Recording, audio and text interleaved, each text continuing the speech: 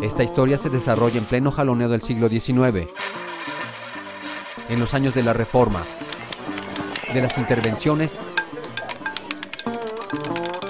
y el imperio. El caos político ha empujado a algunos al bandolerismo como sucedió con el joven Manuel Osada, el tigre de Álica.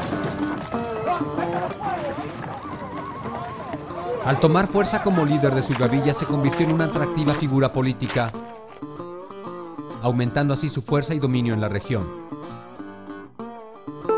Losada saltará de conservador a liberal, a neutral, a imperialista. Logró movilizar a los pueblos guerreros de la sierra y a los campesinos despojados creando un importante sentimiento de identidad nayarita, al punto de dar el primer paso firme hacia su independencia.